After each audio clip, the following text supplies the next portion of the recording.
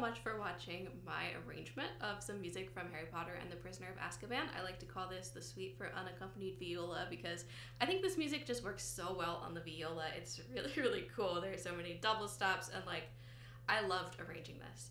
So I would love it so much if you enjoyed this video to please tip me on Ko-fi or PayPal. Any money that I receive from this video will be donated to the Transgender Law Center just to kind of try to erase some of the damage that the author of the Harry Potter series has done.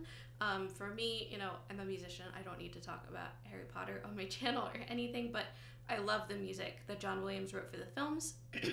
and so, you know, I like to play it on my channel, but I don't want to perpetuate that horrible rhetoric that the author is saying. So if you would like to send a tip my way, I will be donating it all to the Transgender Law Center, or if you would like to donate directly, that would also be much appreciated. Thank you again for watching today's video, and I will see you next week.